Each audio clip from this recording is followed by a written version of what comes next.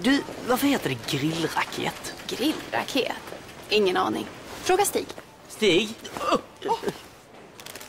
Jag ber så hemskt mycket om ursäkt. Jag, jag borde givetvis ha knackat först. Ulf? Eh, jo, eh, Ulf. Ja, det är en sak jag vill förklara för dig. Alltså, du behöver inte förklara någonting. Det är ditt liv. Ja, alltså, det här är min syster, Gerda.